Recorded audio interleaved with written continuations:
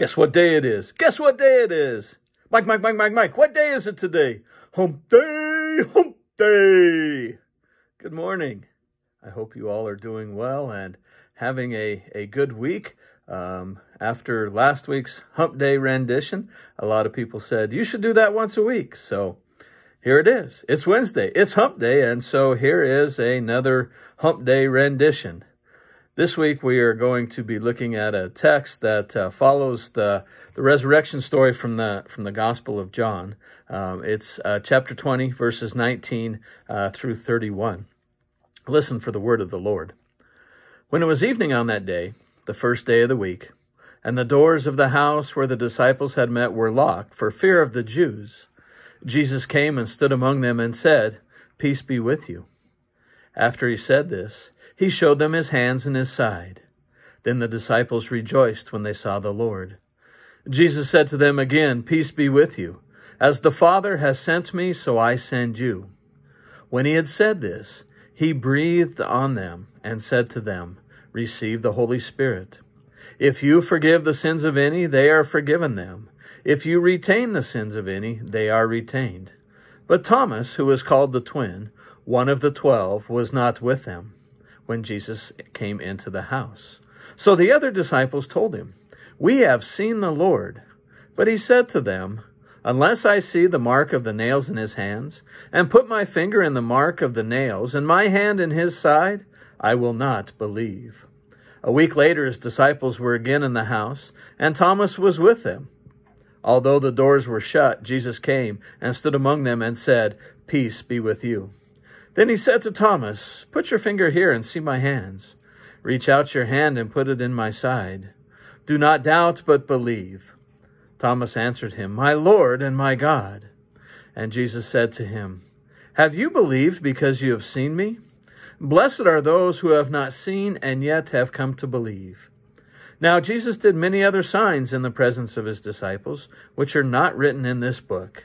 But these are written so that you may come to believe that Jesus is the Messiah, the Son of God, and that through believing you may have life in his name. This is the text that is going to be used this week for a presbytery-wide worship service in which I had a small part in that, and uh, we're going to air that on Sunday. And uh, so we're going to do a few things different this week. We're going to, at 10 o'clock, I'm going to send out a link um, which will be on uh, your email. And we're going to try and do a Zoom fellowship, which I thought would be real interesting. Um, we've never tried that. Some churches around have and said it's been very successful. And that way we have an opportunity to see each other. So I hope that you will look for the email. I will send it uh, later today, and then I will also send it on Sunday as a reminder. Um, this text is one that's very interesting because Jesus tells Thomas, Blessed are those who have not seen and have yet come to believe.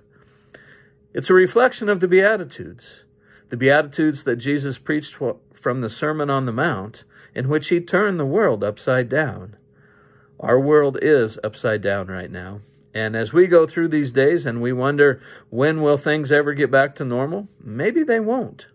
But maybe that's okay Maybe God is doing a new thing among us. Maybe we are doing what best we can do by staying in, protecting one another, serving one another in the name of love. Let us pray.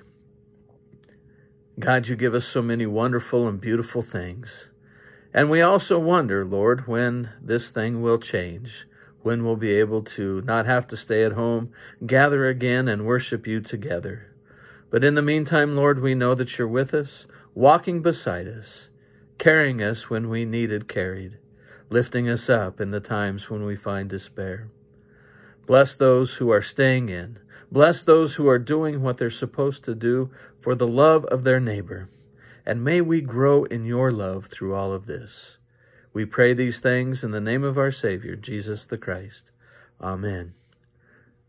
See you again soon, folks. Bye-bye.